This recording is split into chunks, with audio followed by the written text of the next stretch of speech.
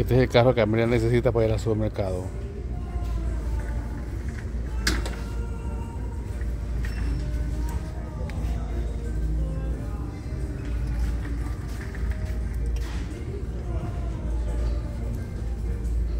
Salga de aquí y lo jalas.